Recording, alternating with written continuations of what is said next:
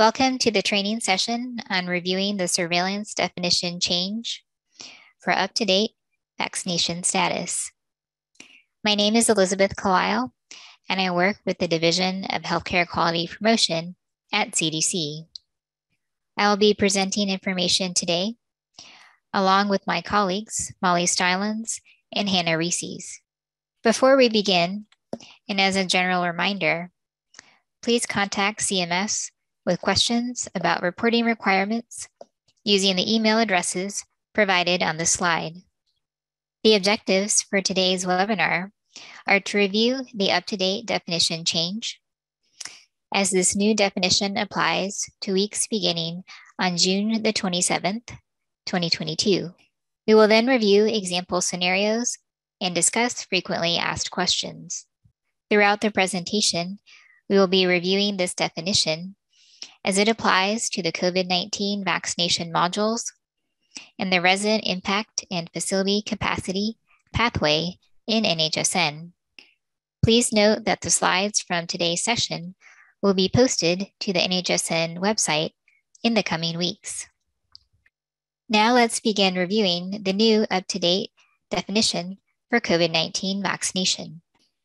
The image on this slide shows the question on up-to-date COVID-19 vaccination status for the COVID-19 vaccination modules. Facilities will report on the cumulative number of individuals who are up to date with COVID 19 vaccines for question number five. Now, Molly will review the next slide on the RIFC pathway. Hey everyone, my name is Molly Stillions, um, and I will go over how um, up the up-to-date definition kind of applies to the resident impact and facility capacity pathway. Just as a reminder, um, resident impact and facility capacity is one of our pathways. We refer to it as RIFC. Um, it's one of the COVID 19 surveillance pathways, and this can be found under pathway data reporting. So when you log into NHSN and click on COVID 19 from that left side menu and you see the pop out menu, you would go to pathway data reporting to access the pathways. So this is a little bit different from um, the vaccination modules. This is our COVID 19 pathways that you would get to from clicking on pathway data reporting. Um, so as you can see in the screenshot above, this is our up-to-date data element down here at the bottom of the screen. This is within the RIFC pathway. Um, and this data element includes residents who meet the CDC recommendations for up-to-date with COVID 19 vaccines, and the most recent dose was received 14 days or more before the specimen collection of the newly positive SARS CoV 2 viral test result. So that's kind of how it applies within the pathway. Please note that this definition may change over time for NHSN surveillance. Therefore, facilities should refer to the definition on the first day of the reporting quarter. Facilities should use the definitions outlined in the document linked on this slide for each quarter. Facilities should review the document at least once per quarter to check for any definition updates. Reporting periods for up to date COVID 19 vaccination data include quarter two and three of 2022. In April of 2022, CDC first defined up to date vaccination.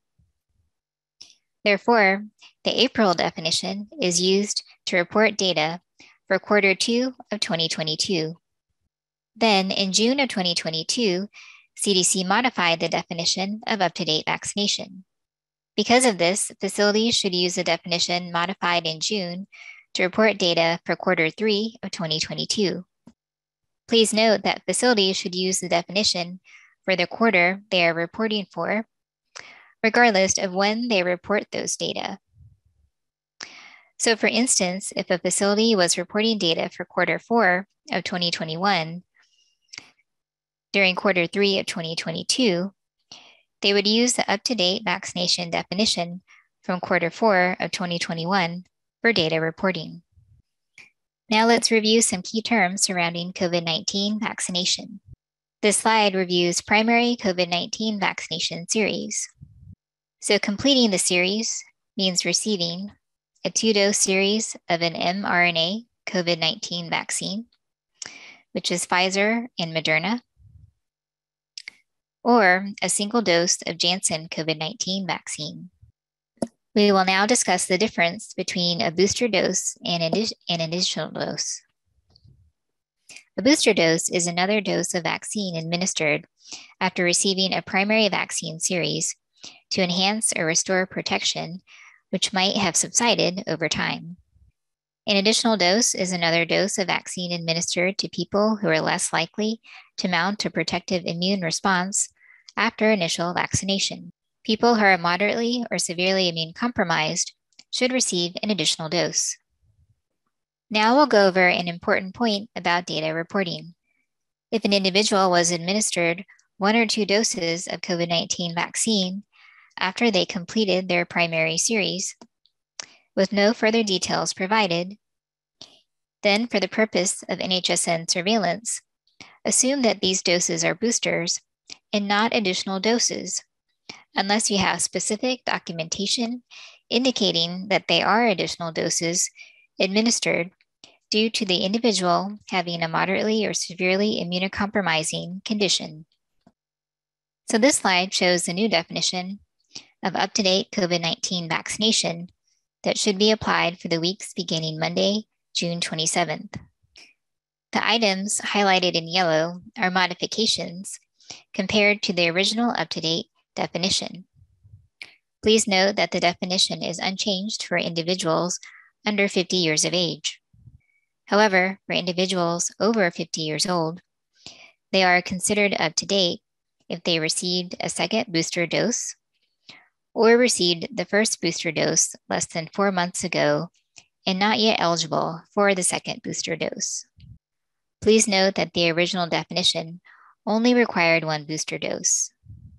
So now I'll turn things over to my colleague, Hannah Reses, who will go over examples of how to report up-to-date vaccination status. Thanks, Elizabeth. And I just wanted to spend one more minute on this slide since it's this is pretty much the whole purpose of this training today is um, you know reviewing the new up-to-date definition. So um, like Elizabeth said, if you're under 50 years old, the definition for up-to-date has not changed. Individuals under 50 are considered up to date if they've received at least one booster dose or if they recently received their complete primary series. And this means that these individuals with recent primary series completed their two dose primary series of Pfizer or Moderna less than five months ago, or they received a single dose of Janssen less than two months ago.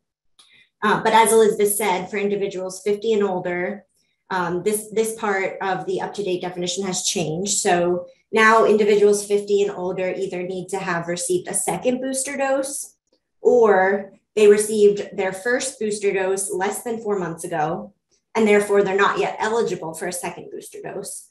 Or this part also hasn't changed. They could have received recent primary series, uh, but so therefore they're not yet eligible for a booster dose, such as recent Pfizer or Moderna completion of the primary series in the last five months, or a single dose of Janssen less than two months ago.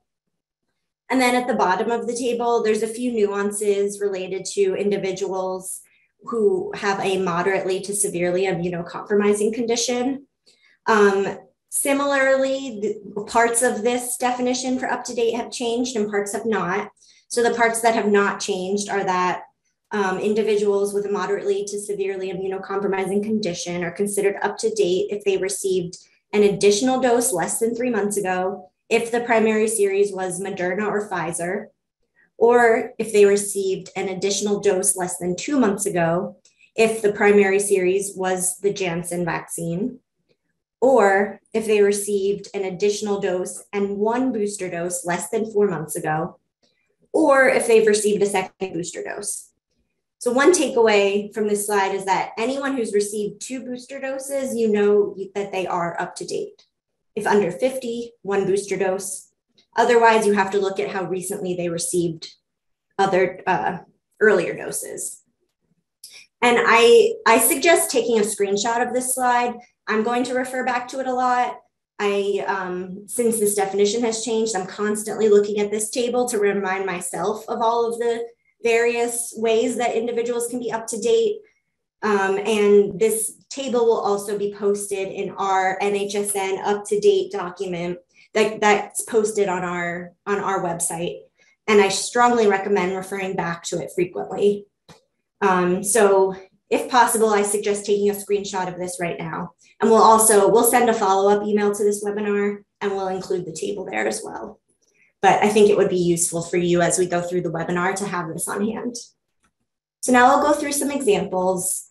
Um, so this is a screenshot of the long-term care resident form and um, how the question looks and how it would be reported. So in this example, there are 40 residents staying in the facility. 30 of the residents have complete primary series. Um, of these 30, for question four, um, 25 of them have received any additional or booster doses. And then 26 total are considered up to date. And that's how many are reported under question five. So this up to date is a mixture, like most likely, of people who have received booster doses um, and people who have received recent primary series. So the first example, Bill is 65 years old. He received two doses of Moderna for his primary series, and he later received two, two booster doses of Moderna. His second booster dose was five months ago. Is Bill considered up to date? And the answer is yes, Bill is considered up to date with COVID 19 vaccines because he received two booster doses. So, pulling up the table here, anyone who received, uh, and he's, I think, 65 years old, so he would be on the right side of the table. He received his second booster dose, so therefore he is up to date. Thanks, Hannah. So, this is the same example. What we're we're just going to go over go over how it applies to the RIFC pathway. Um, so the scenario, like I said, is similar to the one that we just discussed on the previous slide. So Bill tested positive. Um, Bill is a resident of our fictitious nursing home here, DHQP Nursing Home. He's 65 years old and he tested positive on June 23rd, 2022. Um, let's see, he received a second booster dose five months ago. Since he is over 50 years old and had received two booster doses, he is considered up to date per CDC recommendations. Since the up to date count is part of surveillance data, in order to be included in this count, the most recent dose of COVID 19 vaccine would need to be received 14 days or more before the specimen collection of the newly positive SARS CoV 2 viral test result. So, in this example, 14 days or more have passed. Therefore, Bill should be included in the up to date count for the RIFC pathway. Thank you, Molly. And I also just wanted to mention that all of these examples that we're going over are examples of how to apply the new updated up to date definition. So this is how all of these examples will be applied beginning with the week, beginning next week, 627, as this is the first week of surveillance reporting quarter three. So here's another example. Anne is 20 years old. She received two doses of the Moderna vaccine. Her last dose was seven months ago. She's not, she has not received any booster doses. So is Anne considered up to date? The answer is no. Anne is not considered up to date because she has not received a booster dose, even though she was she is eligible for it. And the reason that she's eligible is because her second dose of her Moderna primary series was seven months ago. Once it became five months after her second dose of Moderna, she became eligible for a booster. So, right at that five month mark, she is no longer up to date unless she receives a booster. Um, and because Anne is under 50 years old, she only needs to receive one booster dose in order to be considered up to date. In this example, Mary is 35 years old. She received two primary series doses of Moderna, and she received one booster dose two months ago. Is Mary up to date? Yes, she is up to date because she is under 50 years old and she received one booster dose.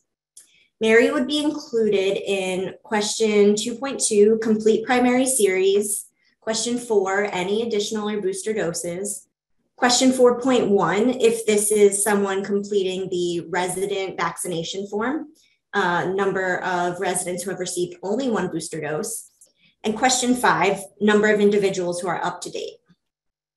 Thanks, Hannah. Um, so again, we'll go over this scenario as it pertains to the RIFC pathway.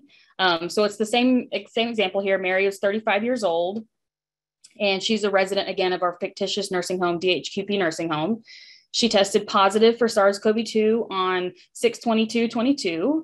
Um, Mary received two primary series doses of Moderna, um, and Mary also received one booster dose of Moderna um, COVID 19 vaccine two months ago. So, is Mary considered up to date? Um, so, yes, she is considered up to date because she is less than 50 years old and received a booster dose. So, Mary would be included in the following counts the positive test, complete primary vaccination series, additional or booster vaccination, the one booster count, which is a subcategory of the additional or booster vaccination data element. Um, so she would be considered there since she's had a booster dose, and she would be in the one booster data element since she's had one booster. And she would also be counted in the up to date data element for the resident impact and facility capacity pathway. Yes, sorry about that. Oh, I forgot I had two slides back to back.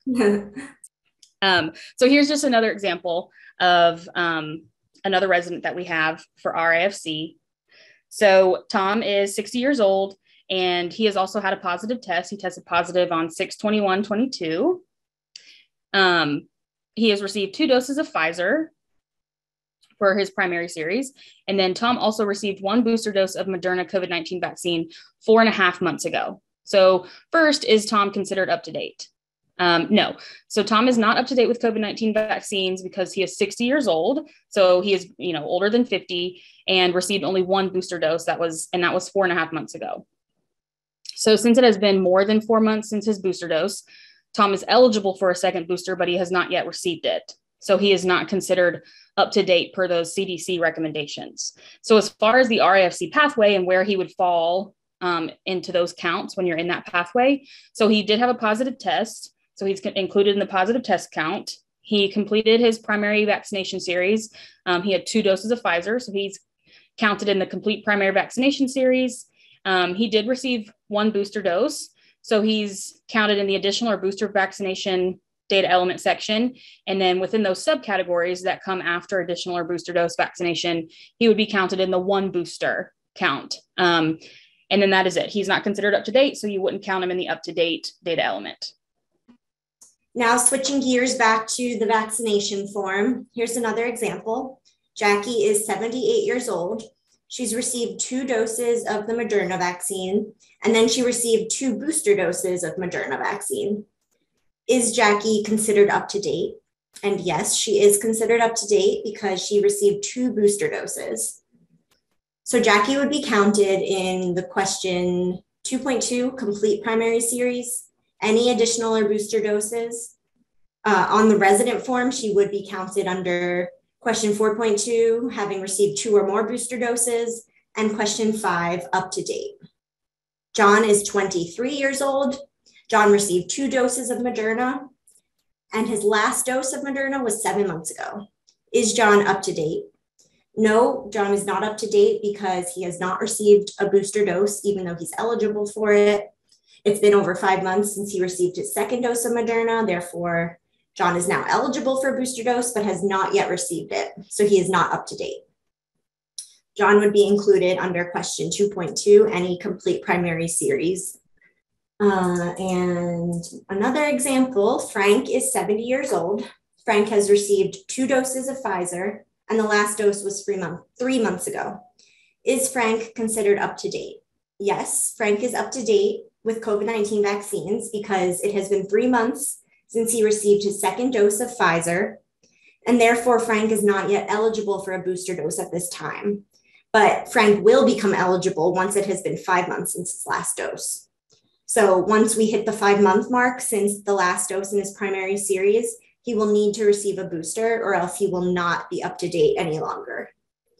So Frank would be included in question 2.2, any complete primary series, and question five, up to date. But remember, you have to keep track of how long it's been since these vaccinations in order to determine when an individual becomes no longer up to date because they're now eligible for an um, another booster dose. Jane is 19. She only received the first dose of Pfizer. Is Jane up to date?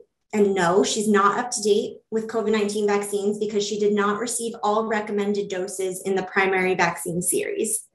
She would only be counted in question 2.1, only one dose of a two dose primary vaccine series. And one more example for now Alice has received two doses of Moderna. She received an additional dose one month ago due to having a moderately to severely immunocompromising condition. And she did not receive any booster doses. So, is Alice considered up to date? Yes, Alice is currently considered up to date with COVID 19 vaccines because she received an additional dose one month ago, meaning less than three months ago, which is the time frame for additional doses and up to date status when the primary series was Pfizer or Moderna. Therefore, Alice is not yet eligible for a booster dose at this time, but she will become eligible once it has been three months since her additional dose. And I'm just going to pull up the table since it gets a little complicated when we're talking about individuals with a moderately to severely immunocompromising condition. So in this case, um, Alice had, um, she falls into this first scenario here. Number one, she received an additional dose less than three months ago if primary series was Moderna or Pfizer. So we know her primary series was, was Moderna and her additional dose was one month ago. Therefore, she is up to date and falls into this category here. Uh, but once it's been three months, she'll need to receive a booster. And Alice would be counted in Question 2.2, complete primary series. Question four, any additional or booster doses. And question five, up to date. And now we are going to go over some frequently asked questions. And Elizabeth, I'll let you take it from here. Thank you, Hannah. So the first question asks, how do I categorize a resident who received a complete primary COVID-19 vaccine series of Moderna with the most recent dose received four months ago. Yeah, so this person would be included in complete primary series and uh, up to date because this person had their completion of the primary series less than five months ago. So I'll pull up the table and um, it doesn't really matter in this case how old the individual is because for both individuals under 50 and over 50 if you completed your primary series of Pfizer or Moderna less than five months ago, then you are currently up to date. But it will become important once they're um, once they've received boosters, um, and once it's been more than five months since the primary series, because depending on their age, that determines how many boosters they will eventually need to receive in order to be up to date. So for question number two, an individual received a complete primary COVID 19 vaccine series five months ago, but did not receive any booster doses. So, how would this individual be categorized? So, this person would only be counted under complete primary series. This person is not considered up to date because they completed their primary series exactly five months ago. So, they are now eligible for a booster dose. So, looking at the table again, um, those uh, in order to be considered up to date, you would have to have completed your two dose primary series less than five months ago. So exactly at the five month mark, they're no longer up to date. They need to receive a booster dose in order to maintain their up to date status. So question three asks, how do I categorize a resident who is 75 years old and received a complete primary COVID 19 vaccine series and one booster dose six months ago. Yeah, so because this person is 75, which is older than 50 years old, and they've only received one booster dose, and this booster dose was six months ago, uh, they would not be considered up to date because um, if you're over 50 and you've only received one booster dose, that booster dose must have been received less than four months ago in order to be considered up to date. So this person would be counted in complete primary series, any additional or booster doses, and if they're a resident, they would be counted in question 4.1, only one booster dose of COVID 19 vaccine. Uh, because again, they're 75, which is over 50. They've received only one booster dose, and that booster dose was over four months ago. So this individual would need to receive a second booster dose uh, to be considered up to date based on the new definition, which we begin to apply next Monday, June 27th. So, question four presents a scenario where a resident received a completed primary COVID 19 vaccine series and two booster doses, most recently in April of 2022. This person is considered up to date because they have received two booster doses. And um, when, when individuals have received two booster doses, that's basically all the information that you need to know. If you know that they're both booster doses, it doesn't matter how old they are or even when the second booster dose was received. Two booster doses, you automatically know they're up to date. So this individual would be counted in complete primary series, any additional or booster doses, if they're a nursing home resident, they would be included in individuals who received two or more booster doses and up to date. Molly, we'll turn it over to you for this one. Thanks, Hannah. So we're going to take the same question on the previous slide and just apply it to the RIFC pathway. And just as a reminder, again, the RIFC pathway can be found by going to pathway data reporting um, once you click on COVID 19, then you would select pathway data reporting, and that's where you get to the COVID 19 pathways, and the RIFC pathway, pathway will be there. Um, so if we're applying the previous slides information, um, the resident would be included in the positive test count. Um, so this resident, obviously, they received both um, series of the uh, both doses of the primary series. Then they also received two booster doses and um, they tested positive. So that is, you know, why they're being included in the RIFC pathway. They, they are a resident who has had a positive test. Um, so we would include them obviously in the positive test count. And then because they have had their um, primary series, they've had two, two, you know, let's just say they had Pfizer. They had both doses of Pfizer for their primary series. They're con- they're counted in the complete primary vaccination series data element. And then we know that they have received two booster doses. So they will be included in the additional or booster dose vaccination data element. And then within the subcategories that go along with that, they would be included in two or more booster doses. Um, they would be included in that count. And also, they would be included in the up to date count since they have had two booster doses. You know that they are up to date. Thanks, Molly. And also that um, uh, the the second booster dose was over 14 days ago, right? So we know that they're included in the um, that up to date category and the two or more boosters since they the um, they need to you need to take into account that 14 day lag for the RIFC form. Is that right? Yes, that is correct. Um, so on all you know, the 14 day rules kind of been in place for our RIFC pathway for quite some time, and that does apply to the up to date data element. So if they are you know up to date per CDC recommendations, so for this example, this person has had two booster doses, so you know by the CDC definition they are up to date. So if they're considered up to date and they've had a positive test, then what you'll need to do is to try to see if they are considered, you know, if they need to be counted in the up to date data element of the RIFC pathway, is have um, 14 days or more, you know, passed since they've had that vaccine and when their test became positive. So there was a 14 day window, um, and that applies to you know almost all the other data elements within the RIFC pathway. So it also applies to up to date. Um, and so that's a little bit that's kind of where the difference comes in as far as the CDC definition and our surveillance definition is that we do want there to be a 14 day lag and um, that you know surveillance definitions are just a little bit different we're looking at some vaccine effectiveness so that's kind of where the difference comes in. So if they're, we still want you to, you know, look at the CDC recommendations to know, are they up to date? Are they considered up to date? And then if they are, you know, has it been 14 days since they've received that vaccine and when their test was positive to just be included for the surveillance purposes of the RIFC pathway?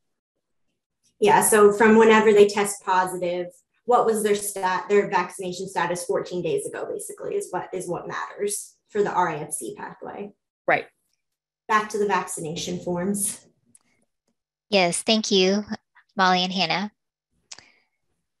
So question five asks about how to categorize someone who received a completed primary COVID 19 vaccine series of Moderna and one additional dose one month ago due to having a moderately to severely immune compromising condition, but no booster doses.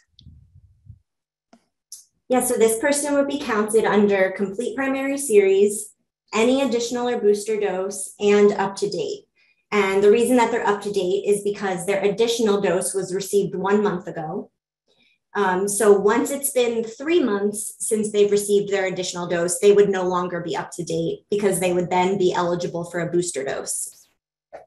So in this instance, an individual received a completed primary COVID 19 vaccine series and one additional dose due to having a moderately to severely immune compromising condition, plus a booster dose. Right. So, because this person has a moderately to severely immunocompromising condition and they've received um, one additional dose and one booster dose three months ago, they are considered up to date. Um, I'll pull the table back up again. So they fall into category three here at the bottom of the table. They received an additional dose and one booster dose less than four months ago. So this person would be counted in complete primary series, any additional or booster doses.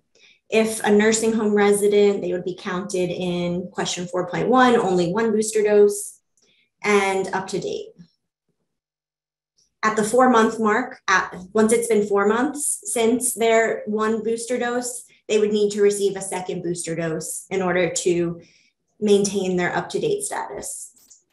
So, next, I'm just going to talk for a minute about how the new up to date definition impacts the person level or event level vaccination tool. Um, and just a note right off the bat the person level, event level vaccination form or vaccination tool is currently only available in the long term care module for residents and healthcare personnel. Um, but we do plan to expand this to other components like HPS in the future. Um, so stay tuned for that. We're working hard on making that happen. Um, but for now, this is only applicable to long term care facilities. Um, so the person level COVID 19 vaccination forms are optional tools that can be used to report data to the long term care, weekly healthcare personnel, and resident vaccination forms. Uh, these are available in the NHSN application, and SAMS Level 3 access is required in order to use them. And to request SAMS Level 3 access, please contact NHSN at cdc.gov and place in the subject line SAMS Level 3 access. And these sheets are, this tool is essentially the new and improved version of the Excel data tracking worksheets, which have now been retired for long-term care since we have the um, event level vaccination tool up and running. Um, so why is this important? Data on the individual, on individual residents and healthcare personnel are entered line by line in the optional person level vaccination tool and the NHSN application takes that person level information and calculates and enters the weekly totals for you and calculates and determines who is up to date based on the vaccination dates. And this is the major benefit of using this tool and can sim- significantly simplify the reporting because all of the calculations and the very complicated uh, definition for up to date that all gets applied for you. And the logic for the new up to date definition has been added to the event level vaccination tool, and it will be automatically applied for all weeks beginning next week, June 27th. Um, and an important note about this is that this, this does require that individuals enter date of birth for all individuals in the facility as of June 27th. So everyone who's currently listed, you will have to enter date of birth beginning next week. And this is because age, as you know, is part of the new up to date definition. So we need to have the date of birth in order to calculate whether someone is or is not up to date. Um, and just a reminder, you must select the View Reporting Summary and Submit button and select the reporting week you want to submit data for, review the totals, and click Save and Submit in order to successfully submit data to the weekly vaccination forms. Um, and as I mentioned, we are expanding to other modules. No, we can still see it. You can see it? Okay, I can't see it. That's fine. Oh, there it is. Okay. Um, okay. And here are some resources for the person level or event level vaccination forms. They can all be found on the long term care website. Um, as a reminder, we have a quick reference guide. We have um, a few trainings posted, including the event level vaccination forms office hours and FAQs. Um, and the YouTube link for this training, the recording is now posted. Um, and we have a lot of CSV materials if you're interested in using um, a CSV template to upload your data. Um, and we will be posting new June 2022 person level CSV files next week to the website that include date of birth. So keep an eye out for that. And a reminder of our other resources, um, they can all be found on the NHSN vaccination websites uh, the weekly healthcare personnel and resident COVID 19 vaccination website for long term care facilities, um, the weekly healthcare personnel HPS website, and dialysis. Uh, you can find training slides, quick reference guides, frequently asked questions, our data collection forms, CSV files, the event level and person level files, um, and lastly, this understanding key terms and up-to-date definition document. This is the really important document where we will post all updates to the up-to-date definition. And this is the website that you should, or the, the form that you should reference in order to determine which up-to-date definition is being applied for which periods of time. Um, for, for surveillance purposes, I, I, know this is something that has come up a lot frequently. Um, there will be times where the C- the CDC definition or the interim clinical considerations definition might change, but the NHSN surveillance definition will not change until the beginning of the next reporting quarter. And that is because we need a stable definition for surveillance tracking and also for the various quality reporting programs that uh, facilities uh, participate in. Um, those data are aggregated at the quarter level, so for every three months. So we need to make sure that we're using a stable definition for at least three month periods. So that's why a few weeks ago, um, when CDC, CDC updated the up to date definition, we in NHSN are not applying that up to date definition until the beginning of the next quarter, which happens to begin on June 27th for, um, and that's the beginning of reporting quarter three for 2022.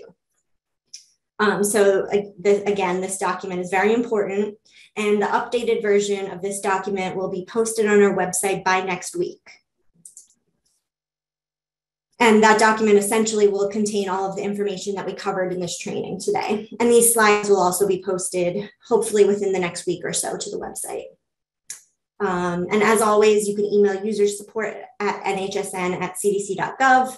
And please include weekly COVID 19 vaccination in the subject line of the email, along with your facility type. And that will help um, get the question routed to our group, our team more quickly.